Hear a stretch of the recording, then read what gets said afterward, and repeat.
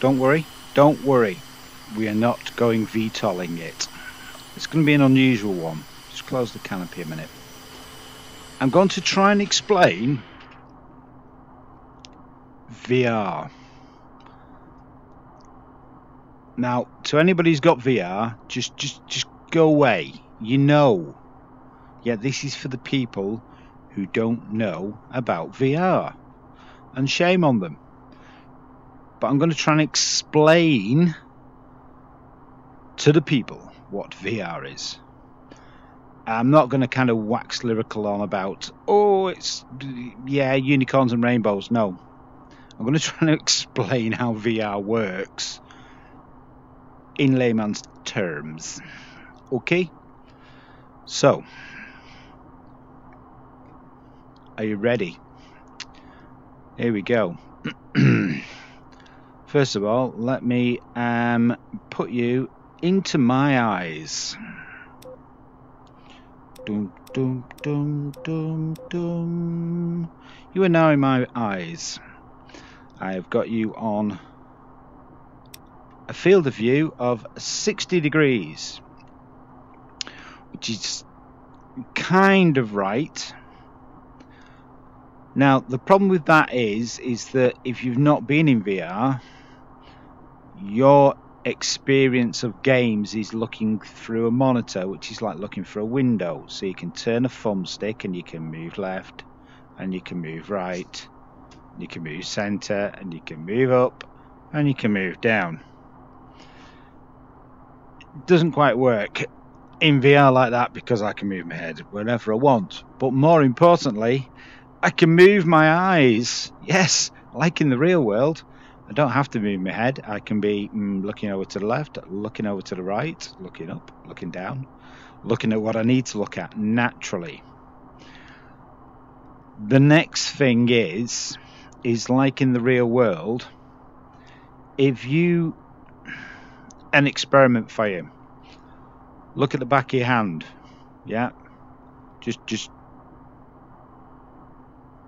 look at the back of your hand, yeah, and in the background, something far away, focus on the back of your hand, and everything else is out of focus.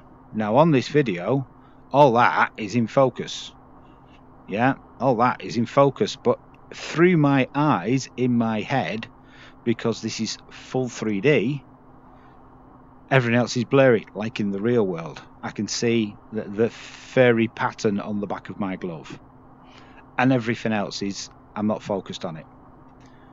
Yeah. Now I'm looking at the trees, and all this stuff is out of focus, like in the real world. Your eyes are seeing the depth of the 3D, and it's not kind of layers. It's not this is one layer, then the road is another layer, then the buildings are another layer, then the trees are a back layer. It's not that kind of 3D. It's full 3D, full depth. Yeah. Example, you see this panel here? I can look around the side of it, I can look underneath it. And it's it's solid, it's real, it's no it's not real, it's virtually real. You know what I mean? It's kind of real. Right, okay, so that's where your immersion comes from. Not the graphics, but the fact that you are in the game and everything is like the real world, i.e., I'm looking at this wall, I can see how far away the wall is from me because I can see the depth.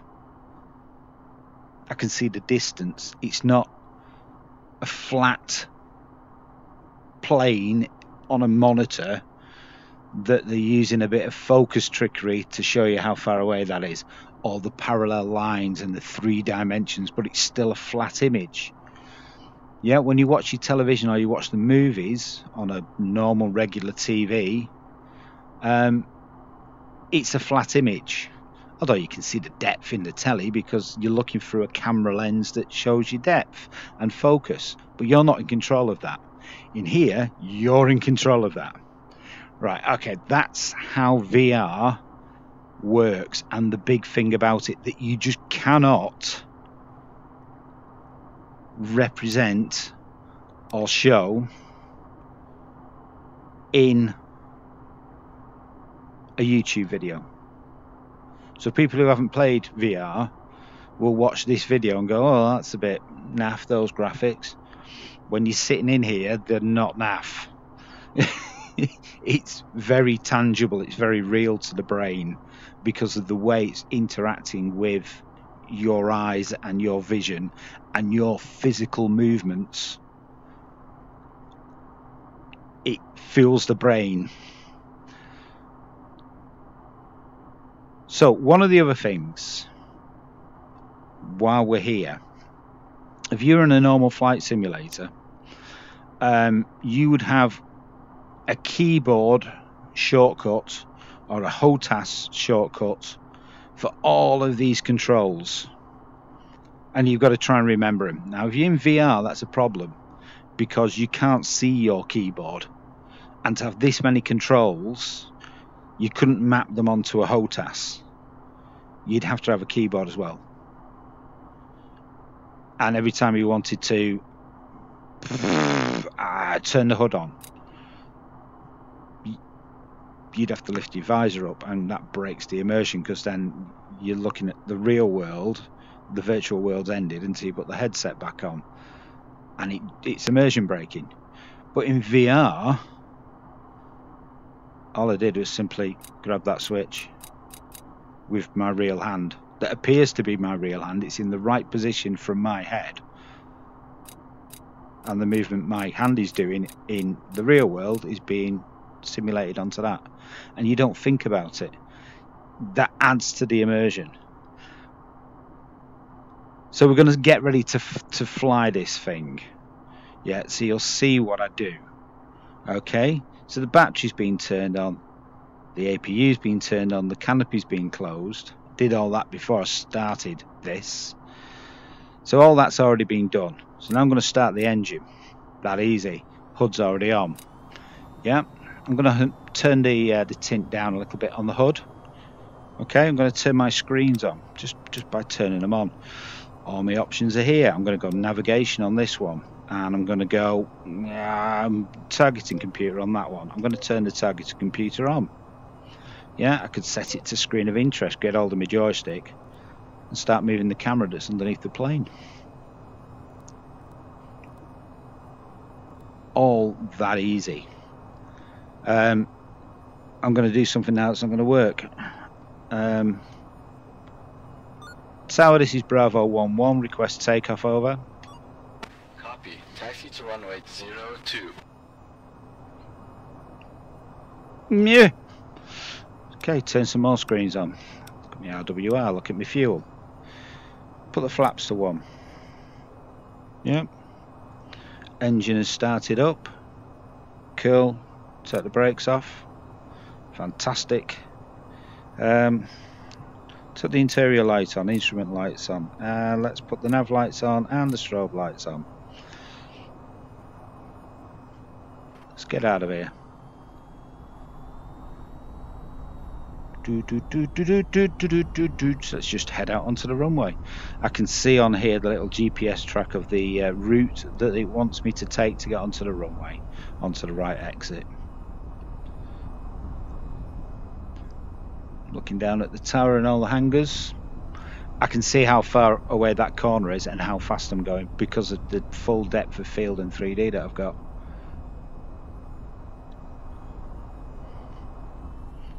Um, the flight controls, I've not got a HOTAS in here, I'm just using my hands. I'm resting my arm on the arm of a chair. Um, I've set the position of the flight controls so that my hand, when rested on the arm of the chair, naturally goes there. So I'm not hovering. I, am I'm, I'm quite relaxed. I've got both elbows on the chair and my hands naturally go to where I need them. Bravo, 1-1, tower, cleared for takeoff at runway 02. We wait for no man. So we'll just uh, bring it on the centre line. And away we go. Now this is a, a weird thing about flight sims. Um, my brain's going to think I'm going to take off. In flatty vision that you're watching on, doesn't look so good. But if I'm looking at the ground and suddenly I start rotating, I do get that drop. My whole body drops as if I've just gone flying into the earth. It's a weird experience and one you don't quite get used to. so you tend not to look out of the window when you're doing that. Let's put that on colour and forward, forward, forward. Yeah, so again, we're now, uh, what are we, 2,000 feet, 3,000 feet, 5,000, 6, 7. Uh, we, we, we're going up at a great rate of knots. Now, in flatty vision, that might look a little bit crude, but because I, I'm in full 3D, if you look at the edge of the mountains down there, um, down there, I can see the ones closer to me actually going over as they should, covering over as we change our angle in um, reference to what I'm looking at, and it's doing it everywhere at 80 frames a second, buttery smooth, and it's completely and utterly believable. When I look out, the if you if you got vertigo or you're scared of heights, don't look out the window, and certainly don't go inverted. Uh, I, okay, then. When you st- when you start to do the weird things like this and actually looking at what you're doing and where you are, it can freak you out a bit. It really can. Zoom out a bit on the map. I'm looking at this now, so I'm focused on here and I can't see out the window. I can't see that mountain coming.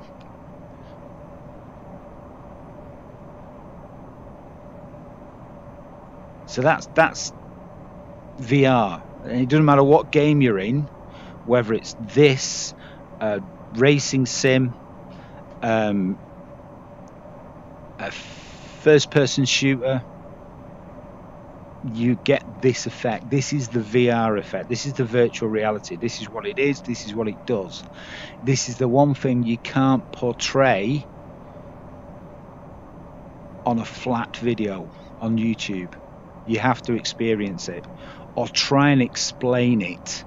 And, and the best way is if somebody's kind of grasp, not grasping what it is, just tell them to look off in the distance, put the hand in front of them, then focus on the hand, and then focus on the distance, then focus on the hand. And that's that depth, three dimensional depth perception, and that's what you get in VR.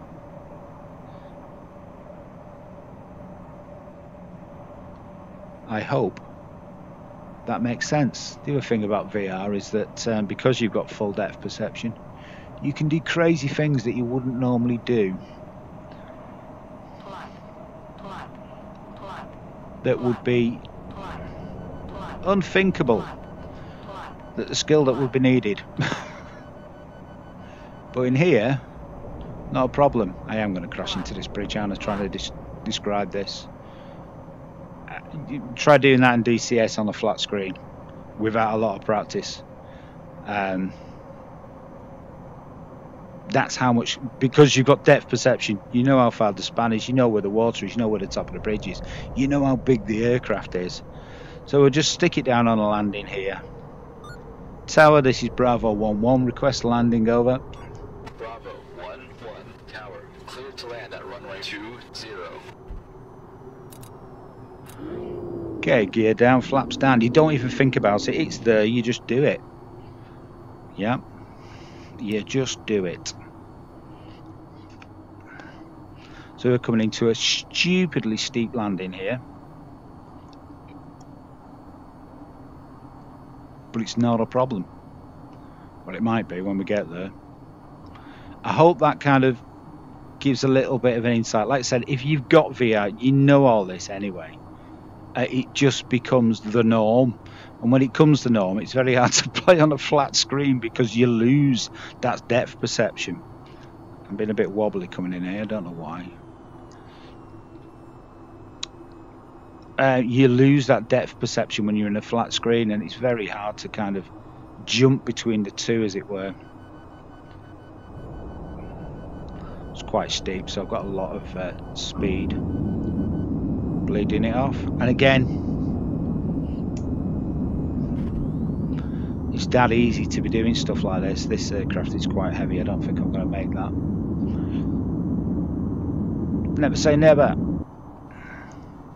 Stall warning. This might end badly. Oh yeah.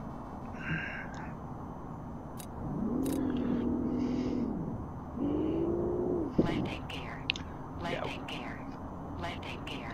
I'm not landing. Gosh, you're the female Jim. But yeah, you you get that feeling emotion. I know the speed that this is going. I know that this thing is trying to stall out, and I'm really going to struggle getting over this hill. But there we go. We've got enough. We'll go around the tower. We'll buzz the tower. Oh, there is a, a, an update now where you can go multiplayer and you can be in the tower or in the uh, command in the in the uh, uh, in the carriers when they're doing the landings and call the ball and all the rest of it. It's fantastic. But I digress. Landing gear. Coming in for a landing again. I am stalling out here. Let's give it more juice. I've bitten off more than I can chew because this has only got one little engine at the back.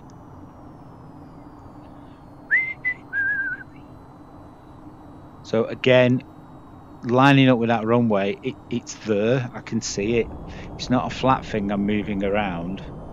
I can see the length, I can see the width, I can see how far I am, I can see how fast I'm approaching it.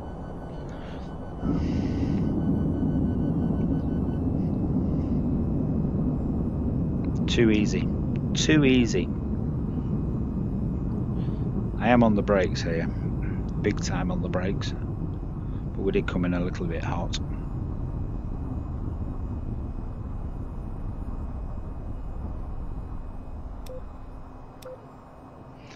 Boom, boom, boom, boom, boom, boom, boom, boom. It's not Christmas. So, oh, another thing about this, I can actually grab the camera.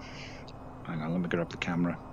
And move the camera where I want, so and put it wherever I want. About there if I wanted to. Um, but yeah, that is VR, and the big thing about VR that nobody goes on about is 3D and the depth of field and trying to explain that to somebody who's not been in true 3D.